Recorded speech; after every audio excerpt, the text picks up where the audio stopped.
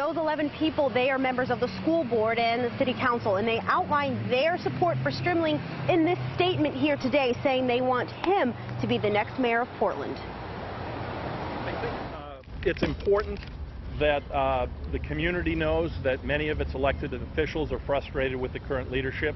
With fellow city council members, Nick Mavodones says he wants a change in the next election, endorsing Ethan Strimling a day after he announced his run. Many of us have talked um, that we were going to support Ethan and uh, felt it was important that we come out and show our support immediately after he announced his candidacy.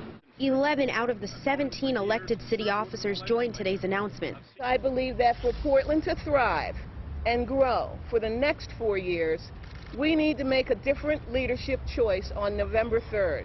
That will be the second time Portland elects a mayor by ranking candidates instead of using a popular vote. And some say the move by city leaders may not make as big an impact with the voters. They might weigh endorsements less strongly than they normally would.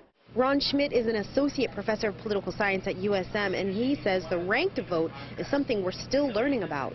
This, in a lot of ways, could signal what a number of people say they want. You know, less emphasis on the animals, the donkeys versus the elephants, and more on the actual policies that candidates endorse.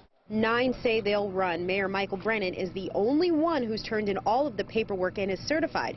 And he says he's happy with his track record. I feel very good about talking to voters about what's happened over the last four years, and I believe the city's better off now than it was four years ago. City Council member Ed Suslovic is one of those nine people who has withdraw has taken the paperwork out to run, but he says he's withdrawing his candidacy so that he can support Ethan Strimling. And we'll have more from the current city mayor, Michael Brennan, at 6.